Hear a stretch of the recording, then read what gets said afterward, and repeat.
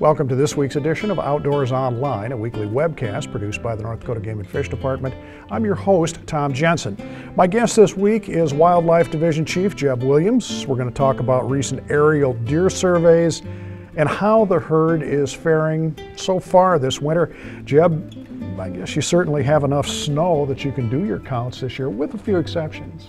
Yeah, the majority of the state we were able to do our, our winter whitetail aerial surveys, which we've not been able to do to at least in this much uh, in this much detail for a number of years due to the lack of snow that we've had in previous winters. So it's always a bit of a double-edged sword, though. I, you know, with the with the winter surveys, is if you are able to do the surveys, that means you have enough snow on the landscape to you know to accurately count deer. You don't want to you know patchy type conditions out there, and right. so um, so the big game biologists and other staff that are completing the surveys like to have that minimum of, of 12 inches on the level out there to be able to accurately count.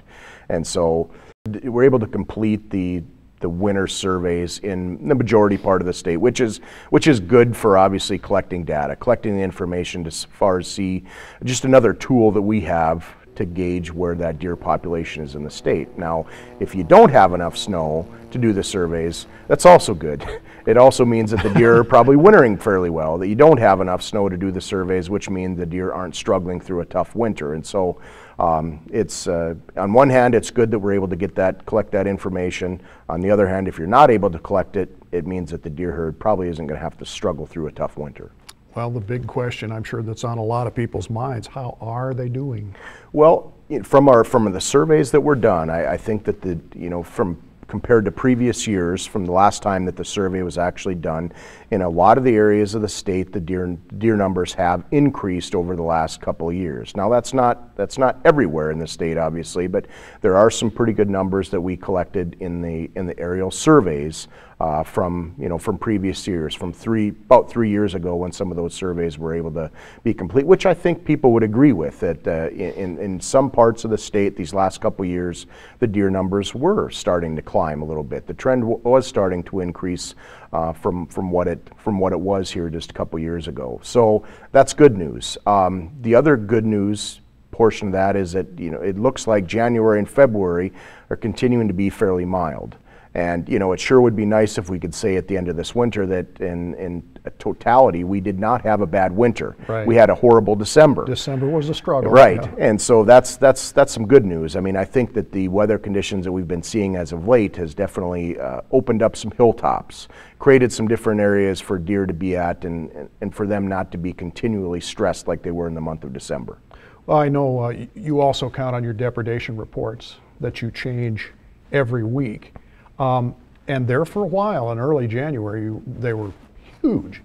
And uh, have they slacked off at all, or, or, are you still getting a lot of reports? And, we, we are still getting some reports, but it definitely has tapered off. I, you know, I think the majority of the producers that uh, that are dealing with depredation concerns were right now are probably the ones that were dealing with those in, in late December and early part of January. So we still do get some that uh, that come in this time of year, but uh, I think the, the majority of depredation cases that we're probably dealing with right now, and, and again, that's the, la- the latest number was over over 250 different producers across the state, and the majority of those coming in the central part of the state, uh, in the, the, north central and then the central part of the state where sure. where the majority of the snowfall is. Sure.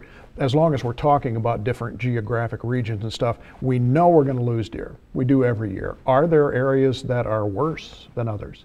Uh, for sure, yeah. The you know the central and north central, northeast part of the state, uh, moving in that direction is is where the extreme snowfalls, uh, you know, situations have taken place, and where the extreme weather has been this year. The southeast part of the state has has been uh, you know not nearly as severe. They did have some.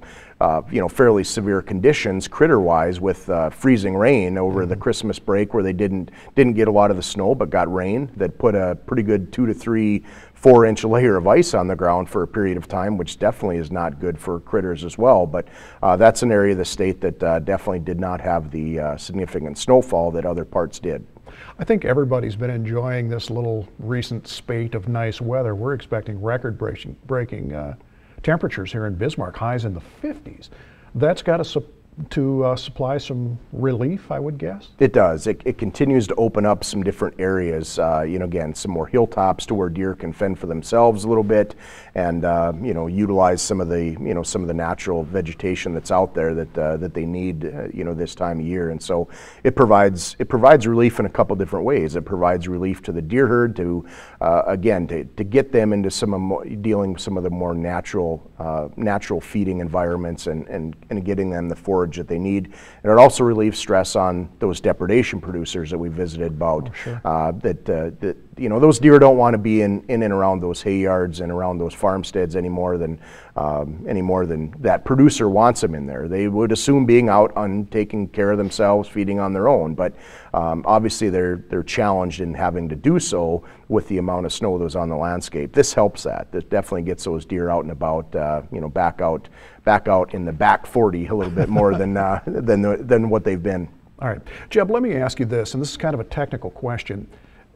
Some people are under the impression that um, this mild weather that we're having, that uh, these deer have been struggling for a couple of months now. They've been fighting the winters and things, and now that you mentioned they can get at some feed stores and things like that, can they actually put fat stores back on in the middle of the winter like this, or is it just kind of one continuous struggle? Yeah, it's very difficult in our North Dakota winters to actually to make a move upward as far as health-wise go. You know, they deer start and other critters, they start at a certain health level and they go into winter in North Dakota and have so much that they rely on to get them through that winter. These conditions help put them in more of a steady pattern, a neutral type, you know, is I guess for lack of better word, as far as where their where their health uh, is going. They won't necessarily their their health won't necessarily get better, uh, but it definitely puts them in a bit of a holding pattern to where they can still to where they're not using continue to use